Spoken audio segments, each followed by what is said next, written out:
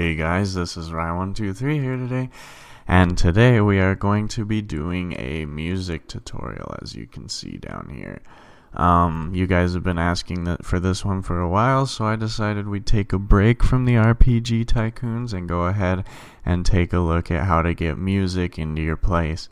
So today we will be looking at two methods, which is the first method we will be looking at is to have background music for your entire place that everyone will hear all the time, which is a very simple script. So just put a script in workspace and it will look something like this. You can decrease this wait time. You might not even need it. I just put it there because it seems like every time I have a script that doesn't have a wait time, it doesn't work. So you can, if you want the music to start right when you join, just put like 0.01 or 0.1 and that will almost be instantaneously. You can try to remove it altogether, but I don't know. It will probably work, but better safe than sorry, I guess. Um, so then we just create a new sound object and put it in the workspace. Um, I don't know if you guys have noticed this, but when you put instance.new and then inside the parentheses you put a comma. Basically the second parameter is just the parent. It would be the same thing if we said music dot parent equals game dot workspace. This and this is the same thing. It's just the same line. So then the next thing you're going to want to do is get the um, sound ID now the way to do this is to just you can either search it in the free models or you can go to well here actually let me jump ahead and I will show you how to find the music ID for stuff. Okay so what you're gonna want to do is come to Roblox go ahead and hop into the develop tab right here and jump into the library. Then you're going to want to come down here to audio and here you will be able to find tons and tons and tons of audio music. You can search um, you can search up here in the search bar. So let me see if they have the yeah they have the one stop MIDI. I really like this for background music for games.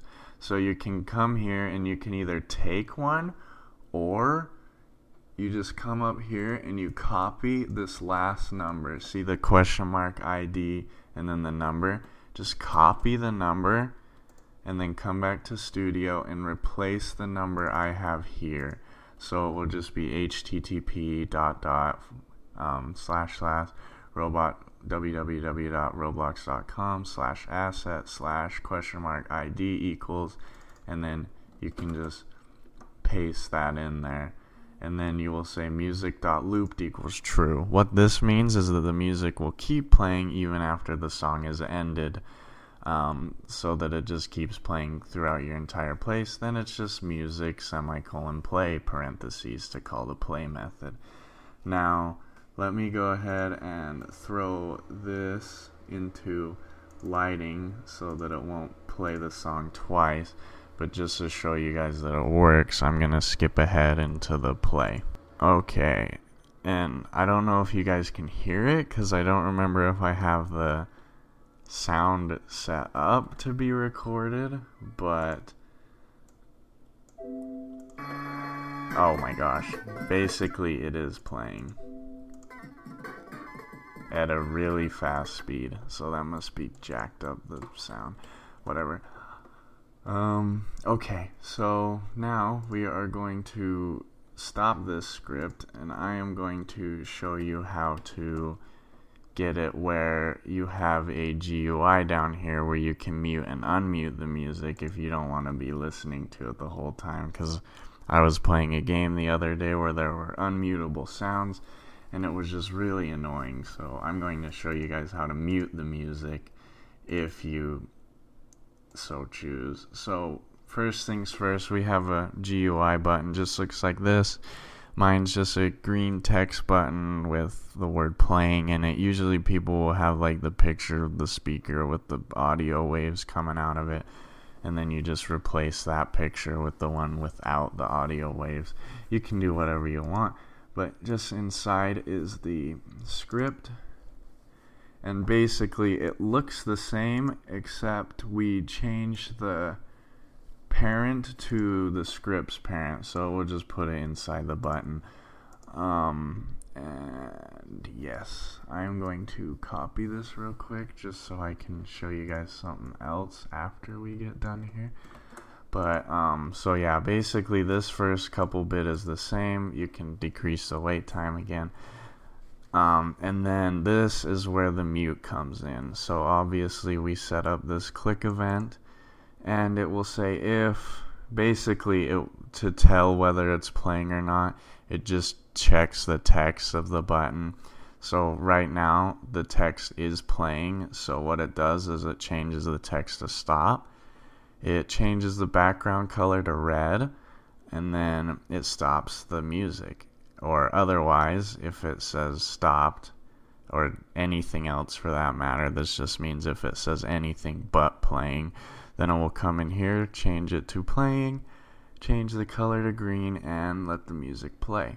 Now um, there is another way you can do this where you can completely omit this whole line right these whole lines right here and what you're gonna want to do is you just come over here into the music button you come over here and you will want to insert a elemental P sound